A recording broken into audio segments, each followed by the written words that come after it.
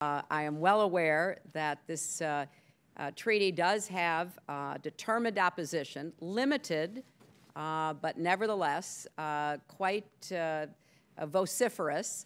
And it's unfortunate because it's opposition based in ideology and mythology, not in facts, evidence, or the consequences of our continuing failure to accede to the treaty.